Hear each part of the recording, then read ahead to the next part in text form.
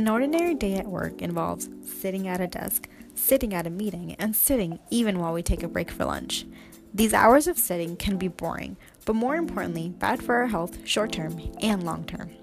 Did you know that extended periods of passive sitting has been linked to a decreased life expectancy? It's as simple as this sitting is not good for us.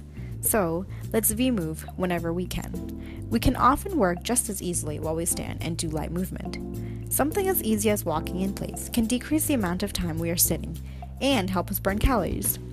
You can simply take a posture that burns more calories than sitting, like squatting or even standing, as in this video. Remember to take frequent breaks from sitting, even if you can only take one minute.